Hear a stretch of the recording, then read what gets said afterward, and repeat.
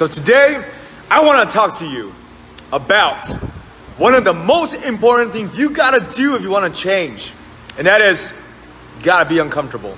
You got to start doing the things that make you feel uncomfortable. Because when you start doing that, you're going to start to see real change. So, like working out, right? It's not comfortable to put yourself in a state where you're sweating, you're challenging your muscles. That's not comfortable. So you got to start getting comfortable being uncomfortable. And it's when we put ourselves into these kind of situations that real change can start to happen. So it could be as simple as joining a gym.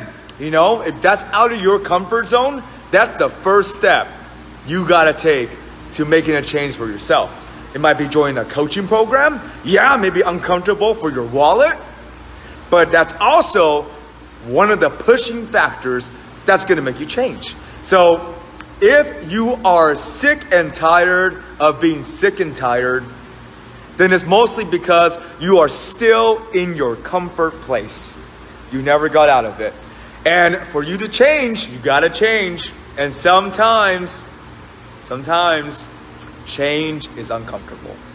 But it's just what you gotta do if you wanna get the life that you deserve to have, right? So for me, I went through a lot of uncomfortable states in my life to get to where I am today.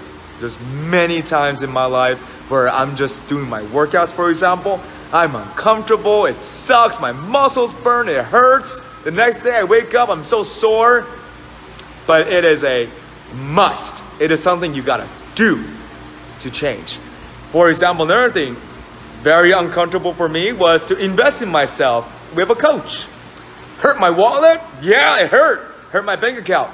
But it forced me to get out of my comfort zone and change. Right? So you gotta start doing things uncomfortable to you to make yourself change. Okay, so I hope my message got through you to you. I hope that you start doing uncomfortable things to challenge yourself so you can change, so you can ha- be happy and claim the life that you deserve to live a life of joy, a life of challenges, and a life of adventure. Because that's what life's about. Is living the best life that you can have. So, today is day 41 out of 41. One more video, that's it.